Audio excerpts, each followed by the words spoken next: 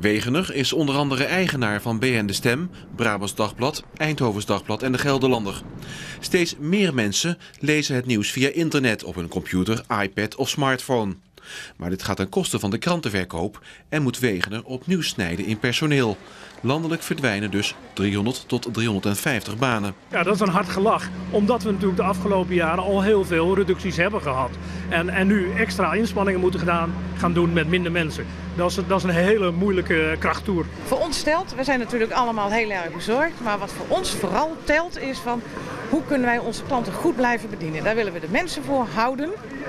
En we hebben daar ook middelen voor nodig. Zo simpel is het. Want de uitgever wil meer betaald nieuws via de krantensite en apps gaan aanbieden. Al blijven de hoofdlijnen wel gratis. Maar als je meer wil weten, de achtergronden, de duiding, de verdieping, dan zullen wij uh, die achter een betaalmuur zetten. En, daarmee, en daarbij zullen we veel meer extra informatie leveren. Daar zullen video's bij zitten, daar zullen uh, veel meer foto's, et cetera. De uitgevers over de hele wereld zeggen eigenlijk altijd al... ze zijn veel te coulant geweest met het verspreiden van nieuws via internet. Komen ze nu achter, ja. laat. Nieuws is gratis, hè? Ja, dat vindt men, maar dat is het natuurlijk niet, want het moet wel gemaakt worden. Ja. En uh, we hebben heel veel journalisten in de regio, die moeten allemaal betaald worden. Dus nieuws kost gewoon geld. Goed nieuws kost geld. En daar moet nu voor betaald gaan worden, zeker. Maar met zoveel gratis nieuwsaanbod op internet is het maar de vraag of mensen weer willen gaan betalen voor digitaal krantennieuws.